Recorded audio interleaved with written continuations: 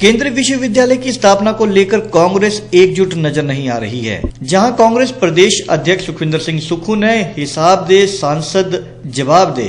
कार्यक्रम डाडा सिबा में कहा कि केंद्रीय विश्वविद्यालय का पूरा कैंपस देहरा में बनेगा। इसी मुद्दे पर धर्मशाला में पूर्व मुख्यमंत्री वीरभद्र सिंह के मंत्रिमंडल में रहे सुधीर शर्मा ने केंद्रीय विश्वविद्यालय धर्मशाला में बनाने को लेकर रैली निकाली और जिला प्रशासन के माध्यम से राष्ट्रपति को ज्ञापन भी भेजा है।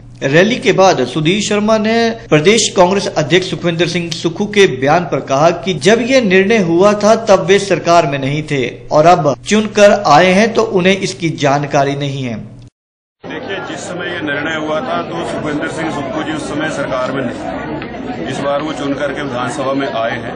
उस समय का ये मंत्रिमंडल का निर्णय है, उनको जानकारी नहीं हुई और इसमें मैं ये नहीं समझता कि किसी तरह से हम कमज़ोर होते हैं, क्योंकि ये हमारी लड़ाई है, हमें खुद लड़नी है।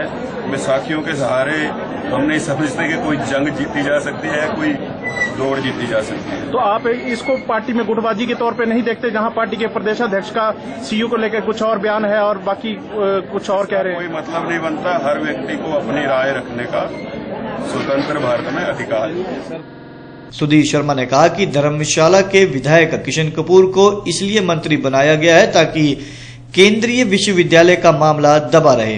इससे पहले किशन कपूर 2007 में भी मंत्री रहे थे, तब उन्होंने कुछ नहीं किया था।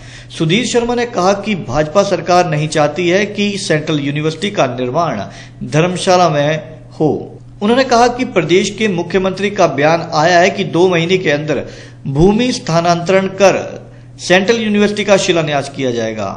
हमने जब ये जान लिया कि प्रदेश सरकार की मंशा जो है, वो ये है कि धर्मशाला में केंद्रीय विश्वविद्यालय ना खुले जब वर्तमान में मुख्यमंत्री जी की ये टिप्पणी और बयान आ जाए कि दो महीने के अंदर जो है देहरा में कार्य शुरू होगा और धर्मशाला के बारे में वो खामोश रहे हमारा हमारी ये मांग है महामहिम से कि जो देहरा की ज़मीन है वो बर्ड सेंचुरी के साथ लगती है। दोनों ही जमीनें जो है वो सेसमिक जोन फाइव में है। धर्मशाला में ज़मीन का चयन हो गया, सारी औपचारिकताएँ उसकी हो गई।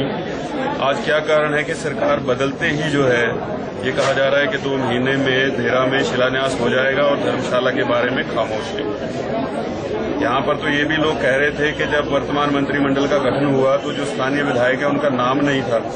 केंद्रीय विश्वविद्यालय की एवज में जो है वो मंत्रिमंडल ले आए और उसको भूल गए। अपनी प्राथमिकता से। और इसीलिए उन्होंने एक बार भी मुखर होकर के इस बात को नहीं उठाया जब से सरकार का गठन हुआ है। जब ये पता चला कि आज यहाँ कांग्रेस ज्ञापन देगी।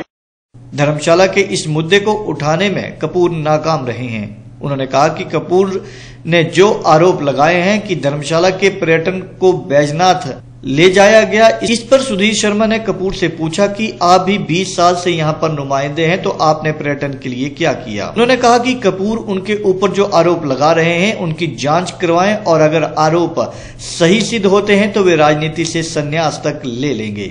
और अगर साबित नहीं कर पाते हैं तो कपूर संन्यास ले। तो कल जो है, वही पुराने आरोप। कि सुधीर शर्मा जो है, वो सारा पर्यटन ले गए। तो क्या मुझसे पहले ये 20 वर्ष तक नुमाइंदगी कर चुके हैं? इन्होंने पर्यटन के लिए क्या यहाँ पर किया था? आज जितने भी आरोप हैं, एक आरोप ये का आज मैं पढ़ रहा था कि जितने भी आउटसोर्सिंग में लोग लगे, सब बैजनाथ के लगे। एक भी व्यक्ति लगा होगा तो मैं सार्वजनिक जीवन से संन्यास लूँगा और एक भी नहीं लगा होगा तो ये ले लें। लेकिन लेंगे नहीं, क्योंकि सिर्फ़ ये पद की लालसा। उसके चलते पहले भी उस समय के जो मुख्यमंत्री थे, उनके आगे घुटने टेक दिए और कहा, यहाँ पर भूमि नहीं है। हमने कैसे भूमि ढूंढ ली? आज छोटे छोटे मुद्दों को लेकर के जनता सड़कों पर उतर रही है, चाहे वो पुलिस ग्राउंड का मुद्दा हो कंटोनमेंट जिसके ऊपर सारी कार्रवाई हो चुकी है, वर्तमान सरकार को पैसे ही जमा करवाना बचते हैं। स्मार्ट सिटी के सारे कार्य जो हैं, जब से ये आए बंद, और संदेह के घेरे में डाल दिया और कहा कि पैसों का यहाँ पर दुरुपयोग हुआ है। ये भूल गए कि ये, क्योंकि केंद्रीय योजना है तो पीएमसी कार्य करेगी। तो अगर संदेह के घेरे में कोई आता है तो पीएमसी जो है वो चुनी गई, वो आती है। तो मैं समझता हूँ कि इस प्रकार से खुद ही ऐसी भूमिका निभा रहे हैं जैसे खुद विपक्ष में हो। आप सत्ता में हैं, सरकार के अंदर आवाज़ उठाइए। इनकी जगह मैं होता तो मंत्री पद को ठोकर मार करके वापस लोगों के बीच में आता और कहता कि नहीं, जो हमारा हक है वो हमें नहीं मिला। सुधीर शर्मा ने कहा कि जब प्रधानमंत्री एम्स का उद्घाटन करने आए थे, तब कांग्रेस को उम्मीद थी कि वे इसका शिलान्यास करेंगे, लेकिन ऐसा नहीं हुआ क्योंकि भाजपा को इस पर राजनीति करनी थी। शर्मा ने कहा कि धर्मशाला से धीरे धीरे सब कुछ छीना जा रहा है ताकि धर्मशाला का विकास न हो सके। सुधीर ने कपूर पर तंज कसते हुए कहा कि कपूर जो कह रहे हैं कि नगर निगम में जो लोग काम कर रहे हैं, वे बैजनाथ से हैं। कपूर को ये नहीं पता कि नगर निगम का कार्यालय अलग है और स्मार्ट सिटी का अलग कार्यालय है। उन्हें पहले इसकी जानकारी जुटा लेनी चाहिए।